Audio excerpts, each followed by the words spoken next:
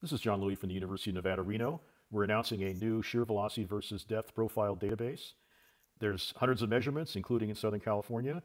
Uh, you can go and get the details at poster number 226 in the ground motion section. Uh, you can also go directly to the database at my website, louie.pub.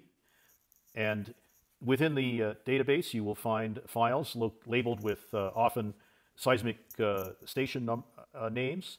Uh, and they each have location info, VS30 summaries, the uh, method and chain of custody. You'll find the uh, dispersion picks numerically.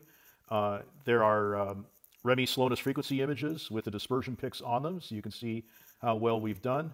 And then at the bottom of the file is a depth versus uh, shear velocity profile. Again, that's poster number 226, and all everything's available out of louie.pub. Thank you very much.